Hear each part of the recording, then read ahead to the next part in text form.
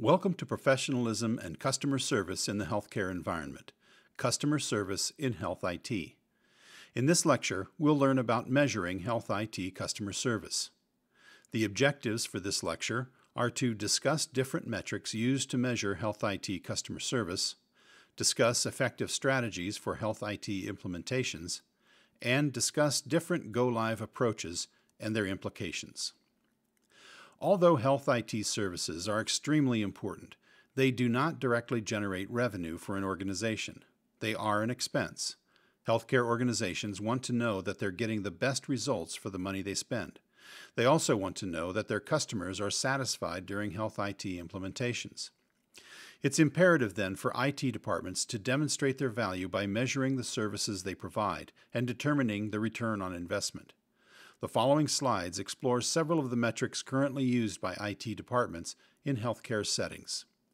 Comparison of services against targets outlined in service level agreements, analysis of help desk metrics, achievement of project management goals and milestones, satisfactory completion of obligations outlined in vendor contracts, and customer satisfaction surveys.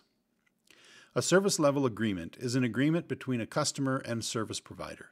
It specifies the type and level of services that will be provided. For example, if IT staff at a healthcare organization were considering vendors to provide cloud services, they might want to see items such as the following covered in the service level agreement.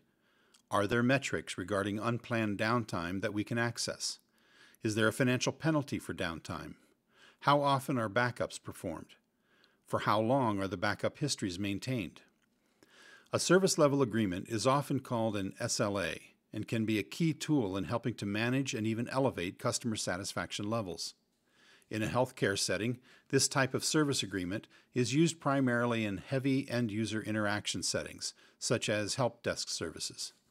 The level of service guaranteed to users of the help desk may be that all calls will be answered by the fourth ring, one level of customer satisfaction, that all calls will be triaged on the phone, and that one third of all issues will be resolved over the first phone call, the second level of service.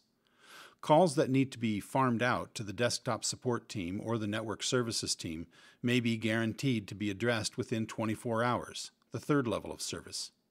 The turnaround time of each level of service must be closely monitored because the help desk provider is under pressure to adhere to the agreed upon service level or face potential consequences. The next two slides are examples of the metrics that are closely monitored by an IT help desk and reported on a monthly basis. This chart shows the volume of calls handled and the maximum time customers waited for their call to be answered. You can see that the wait time increased during the third week of this month, despite a call volume that was lower than the previous week.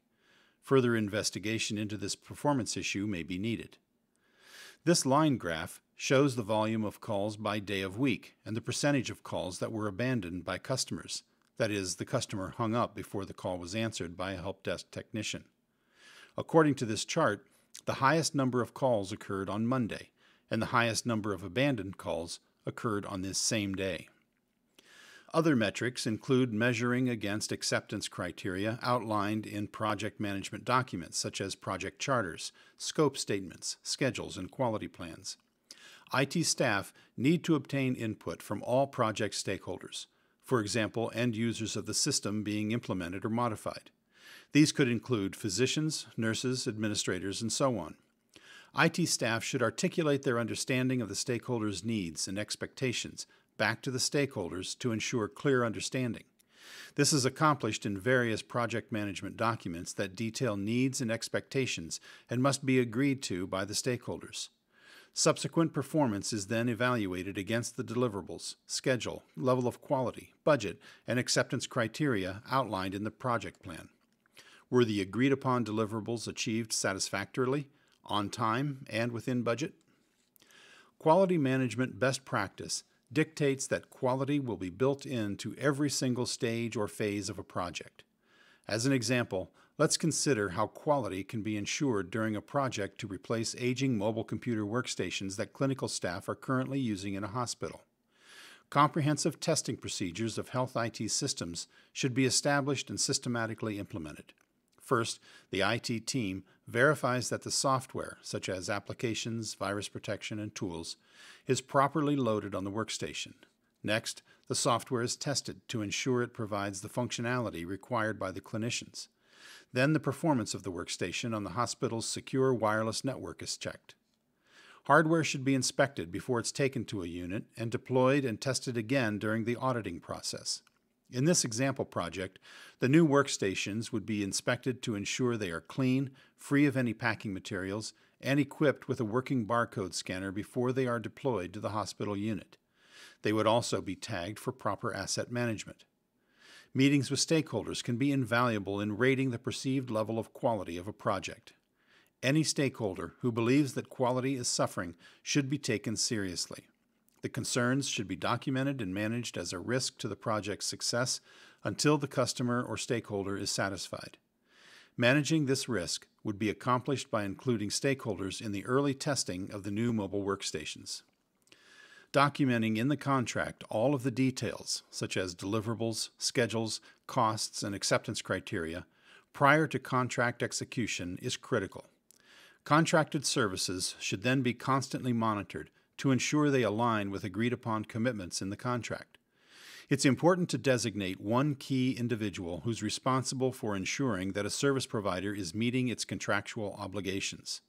For example, has the vendor delivered the expected number of workstations within the schedule that was outlined in the contract? With regular monitoring, any shortcomings can be detected and corrected before the system is implemented. After the system is implemented, additional terms of the contract must be monitored. These include, for example, turnaround times for the resolution of equipment failures, repairs, or system problems, and timely provision of education and training on new product releases. Customer satisfaction surveys are also an integral part of any healthcare organization's strategy to maintain loyalty among customers and continually improve customer satisfaction levels. Surveys are an effective tool used to gain feedback about services provided by IT staff to clinicians and others in the organization. Here are examples of typical questions that are asked as part of a customer satisfaction survey from a Health IT help desk. The responses are used to gauge the level of satisfaction with issue resolution and also to monitor the help desk representative's knowledge and helpfulness from the perspective of the customer. Survey results can then be used to provide positive feedback to an individual for a job well done, or the results may identify areas for improvement for the help desk knowledge base and for the staff. Now let's look at the two most common go live strategies for Health IT implementations and the implications for Health IT customer service. Big Bang and Phased are two strategies used for implementing IT systems. These approaches can be used for implementation of a new health IT system, migration from an existing system to a new one, and improvements to an existing system. These strategies are also relevant to other IT projects, such as integrating with patient portals and adopting telehealth devices. Big Bang is an organizational approach that implements a system or integrates a new capability at one designated date and time. An example of a Big Bang implementation would be starting at one minute after midnight on November 16th, the new EHR becomes live at all sites of XYZ Health and the old system is no longer used. Another example would be the implementation of a new mobile application that allows secure transmission of EKGs and video between EMS, or Emergency Medical Services, and Emergency Department, ED, physicians. An important consideration when deciding whether to use a Big Bang approach is how many sites are involved. Consider the difference between an implementation for only one site and one that must be completed across several sites simultaneously for a Big Bang. In the EMS ED example, the project would entail the training of EMS staff in many different locations and shifts on the new application in time for go live the complexity and risk are certainly increased in the latter scenario. Phased implementation occurs, as you can guess, when implementations of a new system, changes to an existing system, or new functionality occur in a planned sequence rather than all at once, as is done with the Big Bang approach. With the phased approach, the old system, old IT system, or old paper based manual process, must be maintained and supported until all of the phases are completed. This approach creates a need for dual business processes, user documentation, and so on during the interim period. Also, from the perspective of resources, such as financial, staffing, time, and services, there is typically a longer commitment with the phased approach. In our example, if the goal for the IT department is to ultimately remove fax machines and associated phone lines, then the implementation of the EMS mobile application using a phased approach would require the support of dual processes for an extended time period. IT would need to continue to support the current process of faxing EKGs to the emergency department and simultaneously support the use of the secure mobile application. However, on the positive side, the phased approach can lead to earlier adoption of new technology and capabilities. Suppose the EMS locations within 10 miles of the hospital are targeted as the first phase, and this group represents the majority of the ambulance service to the emergency department. This approach could be a significant win for all concerned patients, clinicians, EMS professionals, and IT, because the first phase would be more manageable than a big bang for IT, yet most of the IT customers would be served in the earliest phase of the go live. The go live strategy an organization selects also has some associated implications for health IT customer service. Let's consider how customers could be impacted by a go live strategy that's used to change from one EHR system to another due to a recent merger with another health organization. First, consider patients. Will their medical histories, such as medications, allergies, office visits, radiology studies, and lab results, be available in the new system upon go live? With the Big Bang approach, the answer is yes. In contrast, with the phased approach, medical information might become accessible in the different systems over an extended period of time. The hospital may be transitioned to the new system during the first phase, and the outpatient ambulatory clinics may be transitioned at a later phase. This period, when the hospital and clinics are not yet synchronized, may impact the patient's experience in obtaining medical records and scheduling appointments, for example. Physicians wonder Will my colleagues and I be entering orders for all of our patients in the new system by a single date and time? This would be the case with the Big Bang approach. With a phased approach, certain specialties, say cardiology for example, will be live on the new system before others. Nurses may ask Will all nursing staff, for example those in the emergency department, inpatient care, and critical care, be utilizing the same system at Go Live? They would all be using the same system with the Big Bang approach. With a phased approach, the system they use will depend on the date, their location, or their area or service. With the Big Bang approach, if the IT help desk receives reports of a problem with the EHR system that's impacting the performance of the network, they'll assume that the problem is affecting all locations. If the IT help desk receives this kind of report during a phased approach, they'll want to find out which areas, such as cardiology clinics, are affected and which EHR system is impacted, the old or new system. Let's look at the factors that are important to the success of a customer service driven health IT implementation. It's important to include your customer in the implementation process and to continually reinforce the reasons the change is being implemented. Spending time learning about customer needs can help IT staff to articulate relevant benefits. For physicians, this may mean reiterating that a particular IT project is being undertaken to improve the quality of care. For example, the implementation of telehealth devices at remote primary care offices may initially be intimidating for the physicians and staff. However, explaining how the technology will improve their patient access to care and care coordination can reduce negative attitudes toward the transition. Nurses look to the incorporation of technology to save them time so they can focus on their patients. For example, with a new EHR system, initially documenting a patient's visit will take more time However, when that patient returns six weeks or six months later, that supporting documentation, such as prior visit history, home medication lists, allergy information, will already be available in the record.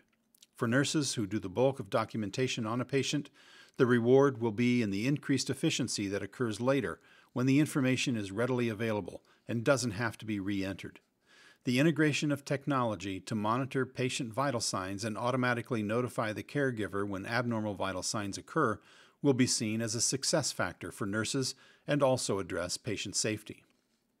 Administrators, too, must be reminded that their investment in health IT systems and technology is worth it.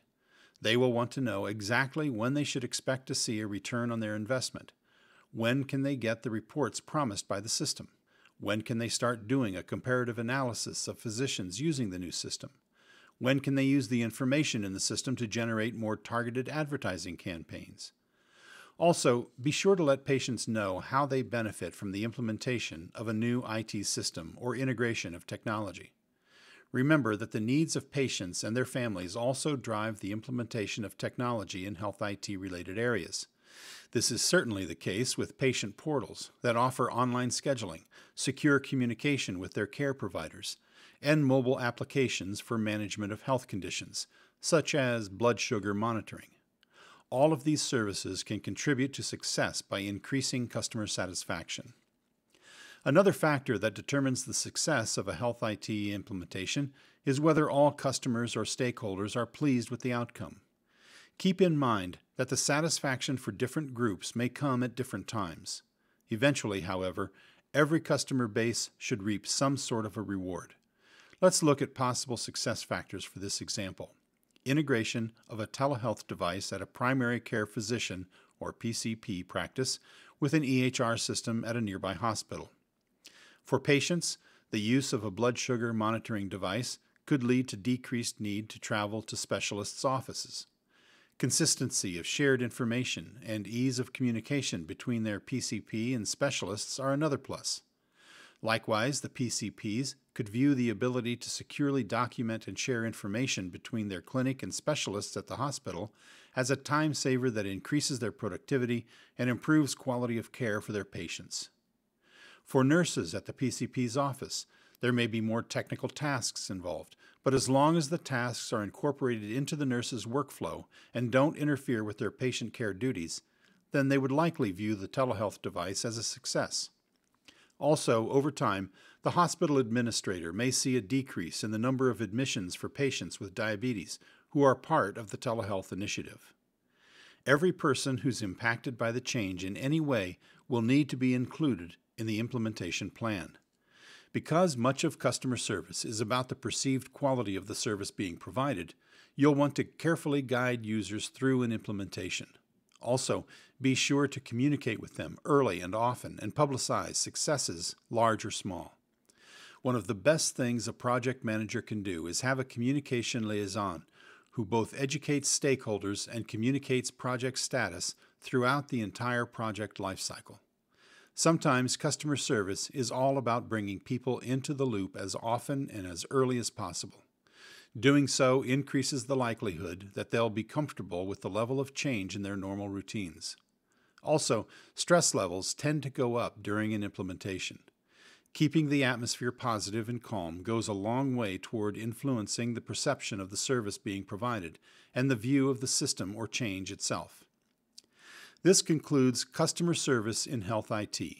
In summary, customer service can be measured by using service driven metrics that are key to providing quality services to customers and supporting successful health IT implementations.